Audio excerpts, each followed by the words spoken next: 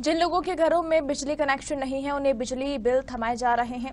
इस कारण लोग परेशान हो रहे हैं। लोगों ने बिजली कनेक्शन नहीं है और ना ही उनके घरों में मीटर लगे हैं, फिर भी उन्हें बिजली बिल दिए जा रहे हैं। इसके अलावा गरीबी रेखा से नीचे जीवन यापन करने वाले लोगों को भी अनाप शनाप बिल दिए जा रहे हैं। इस दौरान संगरूर शहर का स्लम एरिया रामनगर बस्ती, जहाँ पर दलित और गरीब लोग जो कूड़ा कचरा उठाने का काम करते हैं, साथ ही प्लास्टिक और लोहा बेचकर अपना जीवन यापन करते हैं, ऐसे लोगों को बिजली विभाग ने 10 से पचास हजार तक का बिल थमा दिया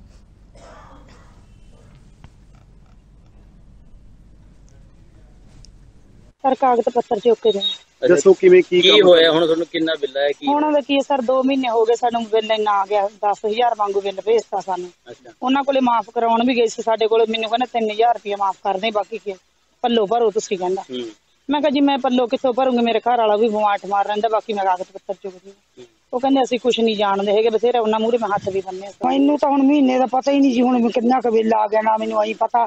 5000 ਭਰ ਕੇ ਆਈ ਉਹਦਾ ਨਹੀਂ ਉਹਨਾਂ ਨੇ ਮੇਰਾ ਸੁਣਿਆ ਹੀ ਗਿਆ। ਮੈਂ ਬਹੁਤ ਵਾਰੀ ਉਹਨਾਂ ਮੂਹਰੇ ਮਿਹਨਤ ਕਰਕੇ ਆਈ ਆ ਜਨਾਬ ਮੇਰੀ ਉਹਨਾਂ ਨੇ ਇੱਕ ਨਹੀਂ ਸੁਣੀ ਹੈਗੀ। ਮੇਰਾ ਬੰਦਾ ਅੱਖਾਂ ਤੋਂ ਅੰਨਾ ਆ। ਮੇਰਾ ਮੁੰਡਾ ਵਿਚਾਰਾ ਕੱਲਾ ਉਹ ਕਬਾੜ ਦਾ ਕੰਮ ਕਰਦਾ ਮਿਲ ਜੇ ਮਿਲ ਜੇ। ਮੈਂ ਉੱਥੇ ਕੂੜਾ ਚੱਕਦੀ ਆ ਗੱਤੇ ਮਾਰੀ ਸਿਰਫ ਗੱਤਾ ਚੁਗਦੀ ਆ ਸਾਨੂੰ ਸਾਡਾ ਕੱਲ ਮੀਟਰ ਲੈ ਗਏ ਸੀ ਮਿੰਤਾ ਬਹੁਤ ਕਰੀਆਂ ਸਾਡਾ ਮੀਟਰ। ਛੱਡ ਕੇ ਨਹੀਂ ਗਏ। ਸਾਨੂੰ ਲਾ ਕੇ ਦੱਸਦੇ ਆ ਵੀ ਤੁਹਾਡਾ ਮੀਟਰ ਲੈ ਗਏ। ਸਾਨੂੰ ਕਹਿੰਦੇ ਇੱਥੇ ਦਫ਼ਤਰ ਚ ਆ ਜਾਣਾ ਫਿਰ ਦੇਖਾਂਗੇ। ਕੀ ਕੰਮ ਕਰਦੇ ਹੋ ਕਹੇ ਜਾ ਅਸੀਂ ਤਾਂ ਜੀ ਆਦੇ ਕਾਗਜ਼ ਪੱਤਰ ਹੀ ਚੁਗਦੇ ਹਾਂ, ਹੋਰ ਕੁਝ ਨਹੀਂ ਕੰਮ ਸਾਡੇ ਕੋਲ। ਕੀ ਕੁਛ ਲੱਗਿਆ ਹੈ ਘਰ ਦੇ ਵਿੱਚ? ਤੁਹਾਡੇ ਕਿਸ ਤਰ੍ਹਾਂ ਦਾ ਘਰ ਹੈ?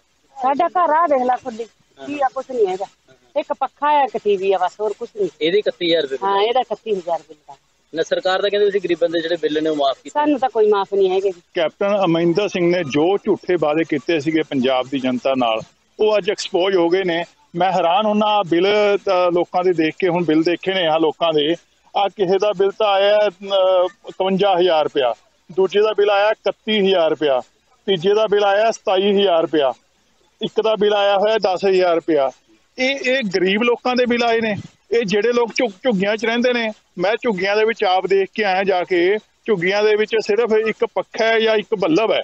ਹਰ ਸਾਲ ਜਦੋਂ ਵੀ ਇਲੈਕਸ਼ਨ ਆਉਂਦੇ ਨੇ ਉਦੋਂ ਵੱਡੇ ਵੱਡੇ ਵਾਅਦੇ ਕੀਤੇ ਜਾਂਦੇ ਆ। ਹੁਣ ਵੀ ਵੱਡੀਆਂ ਵੱਡੀਆਂ ਗਰੰਟੀਆਂ ਕਹੀਆਂ ਜਾ ਰਹੀਆਂ ਨੇ, ਕੋਈ ਕਹਿੰਦਾ ਮੈਂ 200 ਯੂਨਿਟ ਕਰ ਦੂੰ, ਕੋਈ ਕਹਿੰਦਾ 800 ਯੂਨਿਟ ਕਰ ਦੂੰਗਾ। ਆ ਗਰੀਬ ਲੋਕ ਨੇ। ਗਰੀਬ ਲੋਕਾਂ ਦੇ ਜਿਹੜੇ ਜਿਨ੍ਹਾਂ ਕੋਲ ਘਰ ਵੀ ਨਹੀਂ ਹੈ ਆਪਣੇ ਰਹਿਣ ਵਾਸਤੇ, ਜਿਨ੍ਹਾਂ ਦੇ ਵਿਚਾਰਾਂ ਦੇ ਇੱਕ ਇੱਕ ਪੱਖਾ ਜਾਂ ਇੱਕ ਇੱਕ ਬੱਲਬ ਲੱਗਿਆ ਹੋਇਆ ਉਹਨਾਂ ਨੂੰ ਤਾਂ ਮਾਫੀ ਦਿੱਤੀ ਨਹੀਂ ਜਾਂਦੀ। ਨਵਜੋਤ ਸਿੰਘ ਸਿੱਧੂ ਹੁਣ ਖੜਾ ਹੋ ਕੇ ਕਹਿੰਦਾ ਅਸੀਂ 3 ਰੁਪਏ ਯੂਨਿਟ ਕਰ ਦਾਂਗੇ। ਜਿਹੜੀ ਮਾਫੀ ਦਾ ਵਾਅਦਾ ਕੀਤਾ ਹੋਇਆ ਪਿਛਲੀਆਂ ਸਰਕਾਰਾਂ ਤੋਂ ਚੱਲ